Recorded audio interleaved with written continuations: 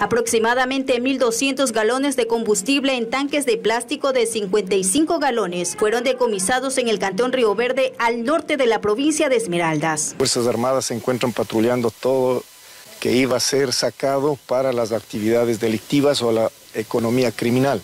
Este decomiso se logró a través de los trabajos de inteligencia del grupo de tarea conjunta que está en Esmeraldas hace más de un año. Con esto se evita el tráfico de combustible que genera perjuicio económico al país. El golpe ha sido muy duro, contundente, para evitar primero la producción de las sustancias sujetas a fiscalización. Segundo, se ha neutralizado que ingresen recursos a la economía criminal y por otro lado, se ha precautelado los intereses del Estado porque esto este robo de combustible trastoca las arcas del Estado.